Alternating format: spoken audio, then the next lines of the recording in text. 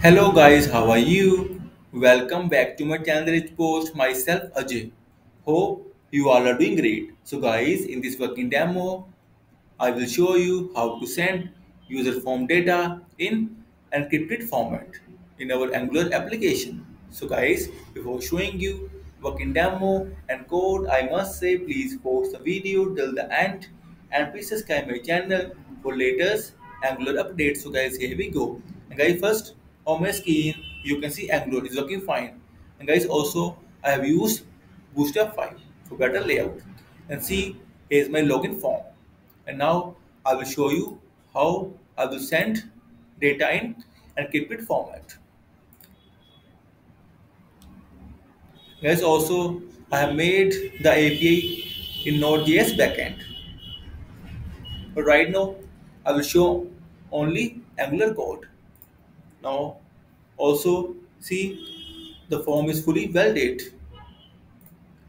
I will show you the Angular working first and in part 2 I will show you Node.js working to decrypt the user information.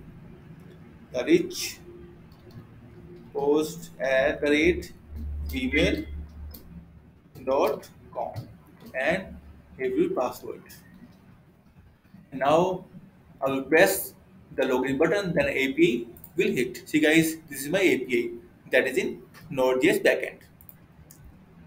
And see my user data in encrypted format. is email and password. See guys, my email is this and it is showing like